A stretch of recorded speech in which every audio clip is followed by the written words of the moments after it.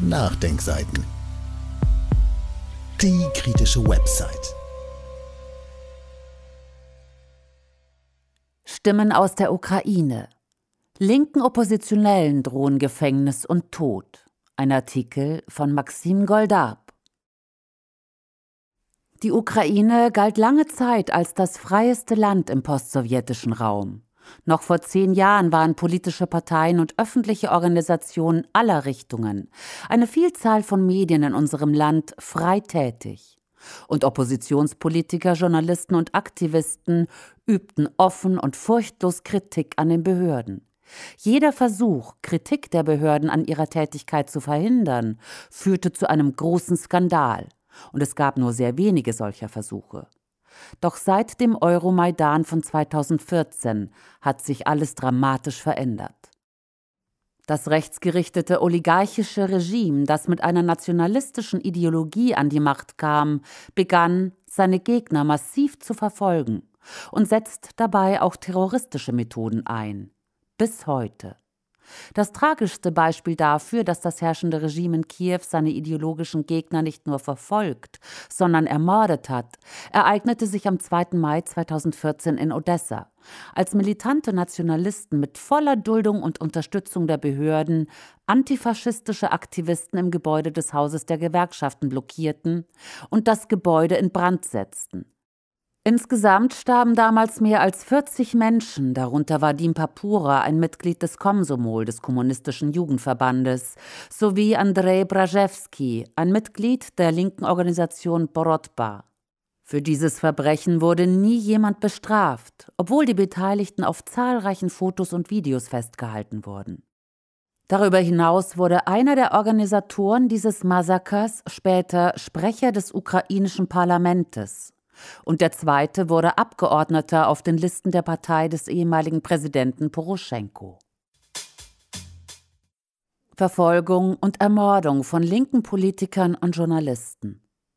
Auch die Mörder einer Reihe bekannter Oppositionspolitiker und Journalisten, die seit 2014 ums Leben gekommen sind, wurden nicht bestraft. Die ehemalige Abgeordnete der Sozialistischen Partei der Ukraine, Valentina Semenchuk-Semsenenko, war ein als Selbstmord getarnter Mord am 27. August 2014. Der ehemalige Abgeordnete und Organisator oppositioneller Aktionen, Oleg Kalaschnikow, wurde am 15. April 2015 ermordet. Der bekannte Schriftsteller und antifaschistische Publizist Oles Busina wurde am 16. April 2015 ermordet und viele, viele andere. Die Aktivitäten der damals größten linken Partei des Landes, der Kommunistischen Partei der Ukraine, wurde verboten. Darüber hinaus wurden in den letzten Jahren oppositionelle Politiker, Journalisten und Aktivisten, von denen viele linksorientiert sind, geschlagen, verhaftet und unter dem Vorwurf des Hochverrates und anderer offenkundig politischer Anschuldigungen inhaftiert. Dies geschah insbesondere mit den Journalisten Wasili Morawitzki, Dimitri Vasilets, Pavel Volkov, dem Menschenrechtsaktivisten Ruslan Kozaba und anderen. Es ist bezeichnend, dass diese Anschuldigungen vor den Gerichten selbst unter dem Druck der Behörden in der Regel in sich zusammenfielen und sich als völlig unhaltbar erwiesen. Mit jedem Jahr hat sich die Situation weiter verschärft, insbesondere nachdem Wladimir Zelensky Präsident der Ukraine wurde. Der formale Grund für die vollständige Beseitigung der Reste bürgerlicher Freiheiten und dem Beginn offener politischer Repressionen war der militärische Konflikt in der Ukraine, der im Februar 2022 begann. Verbot aller linken Oppositionsparteien. Alle Oppositionsparteien in der Ukraine, die meisten davon linke Parteien, einschließlich der von mir geleiteten Partei Union der linken Kräfte für einen neuen Sozialismus, wurden unter dem fabrizierten und kopierten Vorwurf, pro-russisch zu sein, verboten. Gleichzeitig vertrat der einzige Abgeordnete des ukrainischen Parlaments, Alexei Kowaljow, der offen in den von Russland geschaffenen Behörden auf dem Territorium der Ukraine arbeitete, die Partei von Präsident Zelensky, Diener des Volkes, Darüber hinaus wurde die Regierungspartei während des gesamten Krieges von hochkarätigen Korruptionsskandalen erschüttert, die die Autorität der Behörden in den Augen der Bevölkerung untergraben und die Reste der ukrainischen Autorität in den Augen der Weltgemeinschaft katastrophal zerstören. Unter anderem der stellvertretende Leiter des Präsidialamtes Kirillo Timoschenko, Verteidigungsminister Alexei Resnikow und sein Stellvertreter Vyacheslav Shapovalov. Der stellvertretende Minister für Gemeinden, Territorien und Infrastrukturentwicklung Wasili Lozhinsky, der Vorstandsvorsitzende von Naftogaz Ukraini Andrei Kobolev, der Leiter der regionalen Militärverwaltung von Dnipropetrovsk Valentin Resnischenko und viele andere. Obwohl gerade diese Aktivitäten der Regierungspartei eine direkte Bedrohung für die Sicherheit und die Existenz des Landes darstellen, wurden sie aus irgendeinem Grund noch nicht von den Behörden verboten. Der Sicherheitsdienst der Ukraine SBU nahm unter dem Vorwurf des Hochverrates eine Reihe von Meinungsführern und Journalisten fest, die sich vor dem Krieg in den Medien mit Kommentaren zu Wort gemeldet und die Regierung kritisiert hatten. Sie alle wurden der Förderung einer prorussischen Position, des Hochverrates, der Spionage, der Propaganda usw. So beschuldigt. Im Februar und März 2022 wurden bekannte Blogger und Journalisten unter dem Vorwurf des Hochverrates festgenommen und in Untersuchungshaftanstalten den SIZOs untergebracht, darunter Dmitri Changirov, ein Anhänger linker Ansichten, der mit unserer Partei zusammenarbeitete, Jan Taxiur, ein Anhänger linker Ansichten, Dmitri Marunic, Mikhail Pokrebinski, Juri Tkachev und so weiter.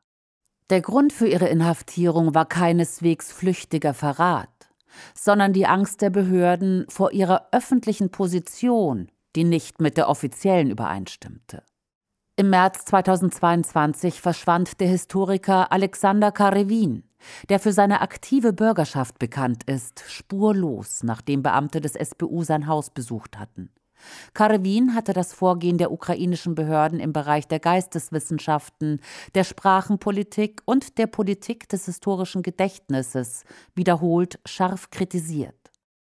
Im Februar 2023 wurde Dmitri Skvorzow, ein orthodoxer Publizist und Blogger, in einem Kloster in der Nähe von Kiew festgenommen und in eine Untersuchungshaftanstalt gebracht.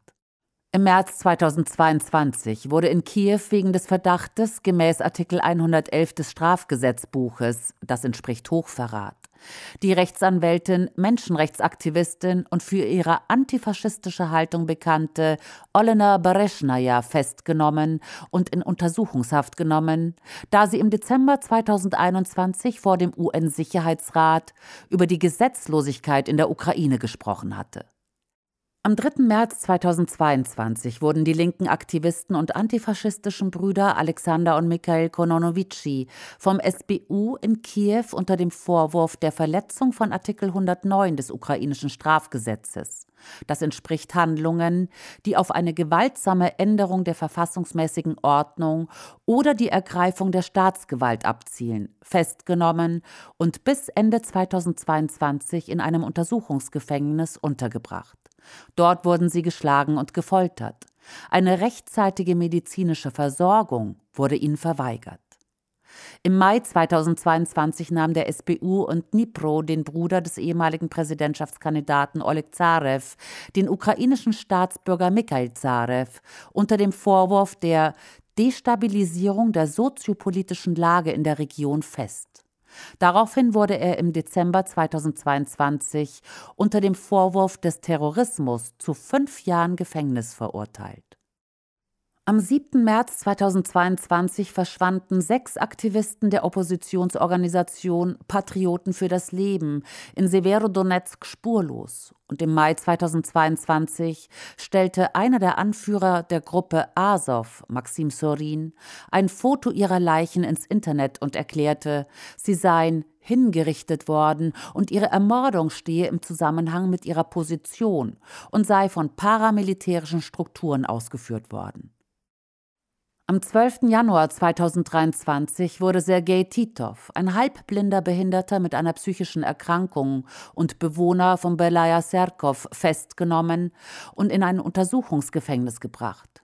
Er wurde zum Saboteur erklärt. Am 2. März 2023 wurde berichtet, dass er in der Untersuchungshaftanstalt gestorben sei. Seit November 2022 sitzt Dmitri Schimko aus Zmelnyski wegen seiner politischen Überzeugungen im Kerker. In der heutigen Ukraine wurden bereits Hunderte von Bürgern strafrechtlich verfolgt, weil sie im Internet politische Inhalte verbreiteten, die die Behörden für verboten hielten.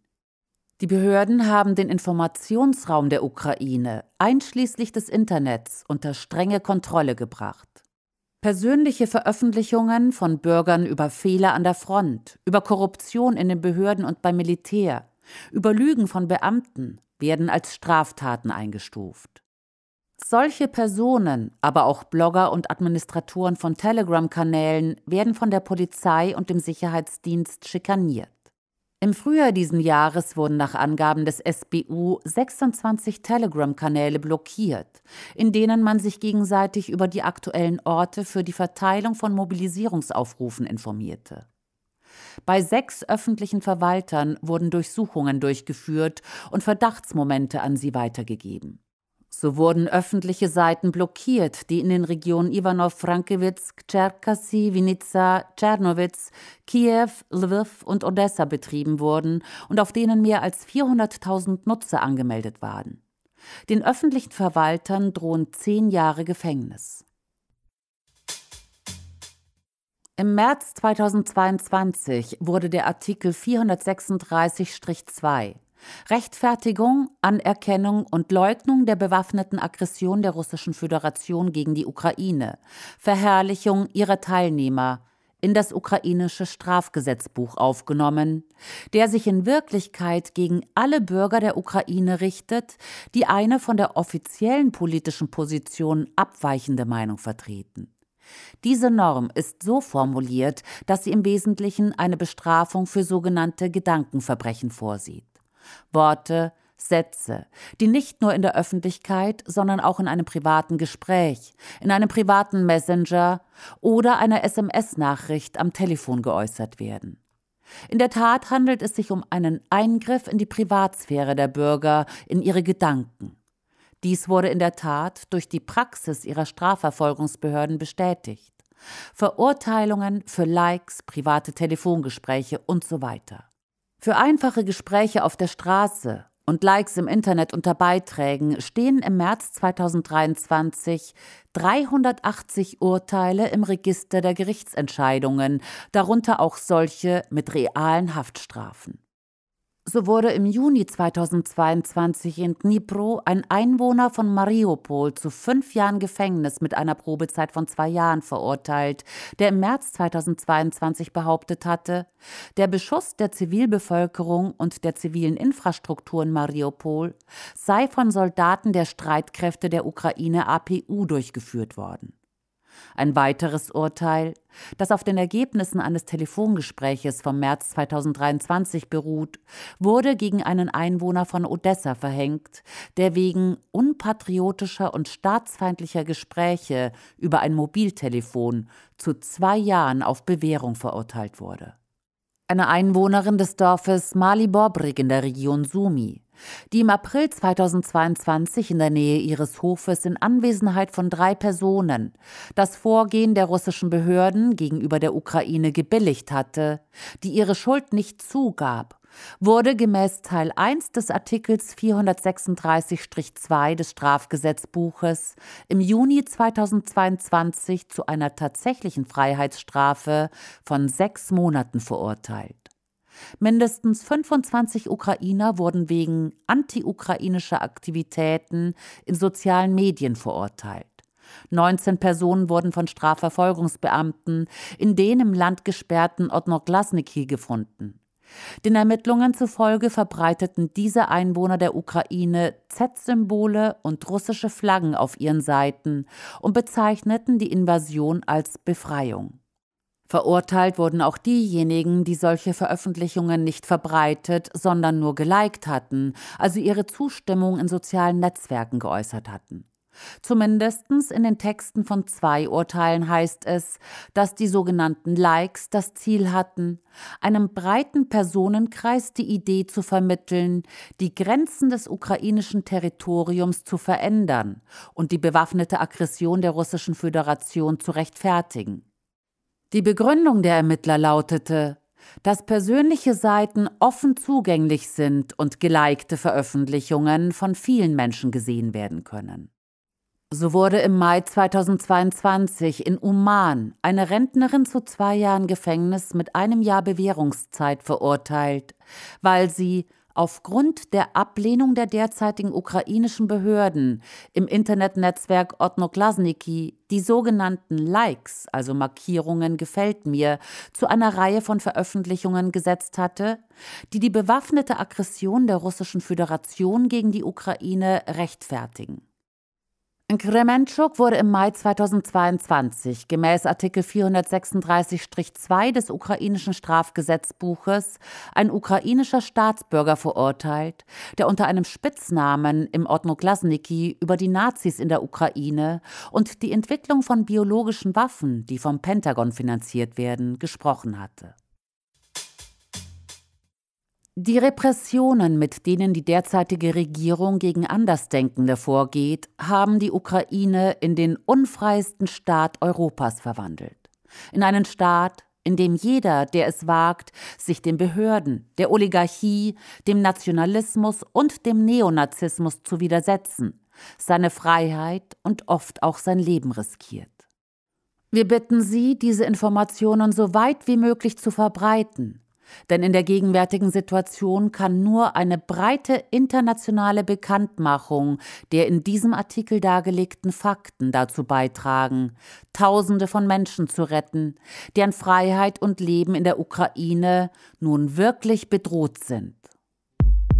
Quellenangaben und weiterführende Verlinkungen finden Sie im Text auf www.nachdenkseiten.de oder im Beschreibungstext unter dem YouTube-Podcast. Dieses Audio konnte nur entstehen, weil zahlreiche Leser und Leserinnen die Nachdenkseiten fördern und durch Spenden unterstützen. Wenn Sie auch etwas tun wollen, klicken Sie einfach den entsprechenden Button auf unserer Website an. Übrigens, Sie können uns auch bei iTunes, SoundCloud und YouTube hören und wenn Sie mögen, gerne unseren Kanal abonnieren und eine positive Bewertung für uns abgeben.